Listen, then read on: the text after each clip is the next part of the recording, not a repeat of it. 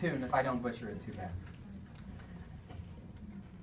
A long, long time ago, I can still remember how my math class used to make me snore. Cause every number we would meet would terminate or just repeat. But maybe there were numbers that did more. But then my teacher said, I dare ya to try to find the circle's area.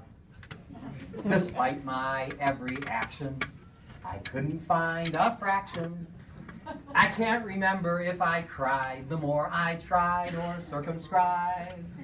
But something touched me deep inside the day I learned of pi. Oh, pi, pi, mathematical pi.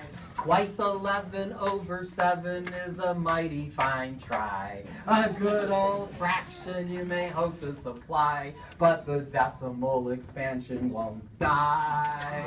Decimal expansion won't die.